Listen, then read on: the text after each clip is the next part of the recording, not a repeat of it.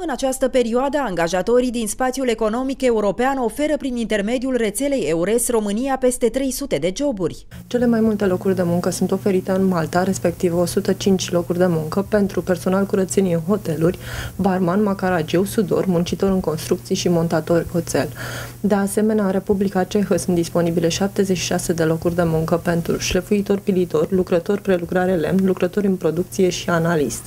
Germania oferă 67 de locuri de muncă pentru factor, poștal, bucătar, ospătar sau asistent medical. În Suedia sunt disponibile 45 de locuri de muncă pentru femei de serviciu mecanic auto sau vopsitori auto. În uh, Polonia, 5 locuri de muncă pentru tester șocuri de localizare. Marea Britanie oferă 3 locuri de muncă pentru asistent medical și îngrijitor persoane la domiciliu.